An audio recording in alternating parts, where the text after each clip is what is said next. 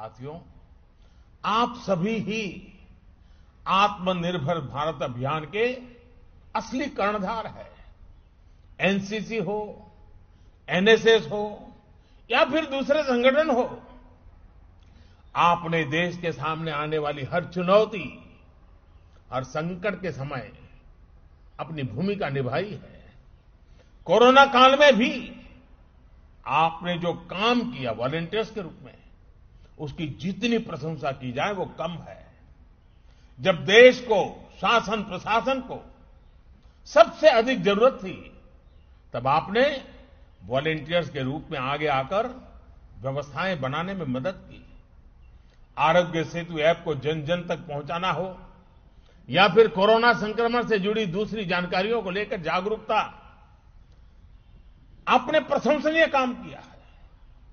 Corona के इस काल में फिट इंडिया अभियान के माध्यम से फिटनेस के प्रति अवेयरनेस जगाने का आपका रोल महत्वपूर्ण रहा है।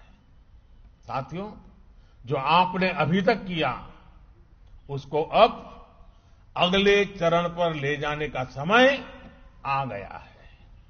और मैं आपसे इसलिए कह रहा हूँ, क्योंकि आपकी पहुँच देश के हर हिस्से, हर समाज तक है।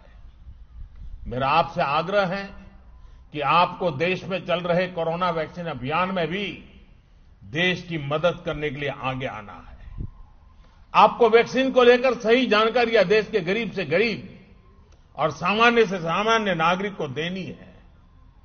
कोरोना की वैक्सीन भारत में बनाकर भारत के वैज्ञानिकों ने अपना कर्तव्य बखूबी निभाया है।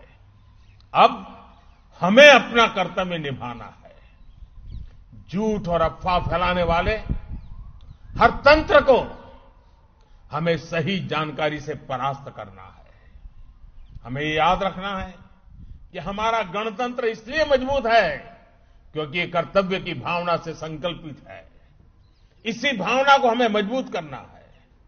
इसी से हमारा गणतंत्र भी मज़बूत होगा और आत्मनिर्भरता का हमारा संकल्प भी सिद्ध होगा।